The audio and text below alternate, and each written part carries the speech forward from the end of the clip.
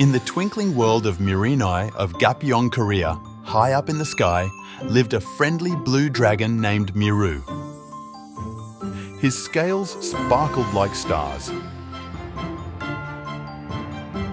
He was always curious about the world and loved making new friends. One sunny day, Meerue looked down from his fluffy cloud and saw a bright, colourful place called Strathfield, Australia. A tiny worry tickled his heart, Will they like me? but his excitement to meet new friends won out. With a flap of his big and powerful wings, he zoomed down like a shooting star. He landed softly and was greeted by amazing sights. A kangaroo bounced by with a giggling Joey in its pouch, saying, G'day! Hi, 안녕? Up in a eucalyptus tree, a sleepy koala welcomed him with a big hug. A chatty cockatoo shared funny stories that made Meerue laugh until his tummy ached. But the best part was meeting the people of Australia.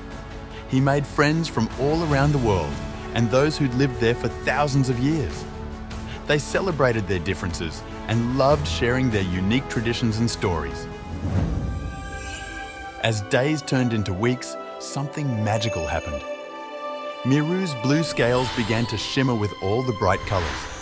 It was as if all his new friends were drawn on Meerue's scales, reflecting the beauty of their faces, smiles, and stories. Meerue realised that their friendship made him even more special. One evening, everyone gathered under the stars to celebrate their friendship. Meerue's shiny and colourful scales lit up the night and they danced and laughed together like one big happy family. Meerue's heart overflowed with happiness. He soared through the sky. Meerue learned that even though we're different, we can be best friends. We all make the world a little more fun and colourful by being ourselves.